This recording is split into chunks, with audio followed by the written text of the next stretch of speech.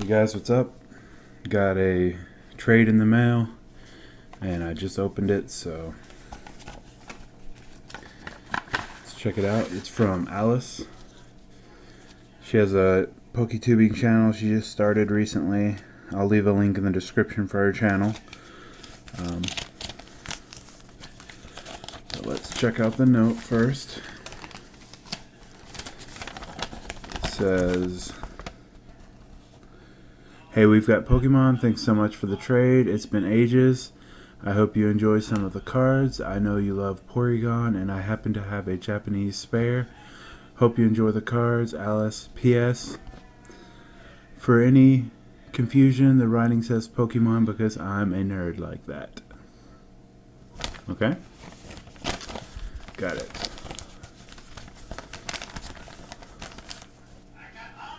Let's take a look here. Okay, so we've got a another signature card. And it is an Abra from base set.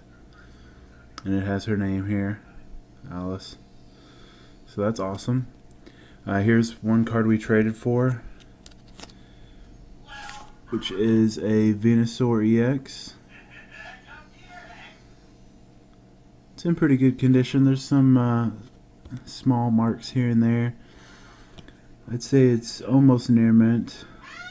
Maybe not quite. But I just uh, I like the artwork on this card a lot. It looks cool. And uh, I got some Japanese cards. She mentioned she had some for extras, so Misty's Seadra pretty awesome. And then Porygon from base set. And here's a Holo Muk from Fossil. That's really cool. I like that card. I think I actually have one of this, but it's in really bad condition. So thanks for that. And then a Japanese Golbat from Fossil. Crow, yeah, Golbat. And then a Gastly from Fossil. So thanks a lot for the extras. Those are awesome. I don't really collect Japanese cards, but you know I like having some because they're pretty cool.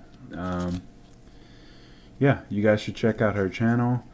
Uh, I think she's still doing the whole PokeTubing thing. She's kind of new to it, so go subscribe and uh, show her channel some love and all that.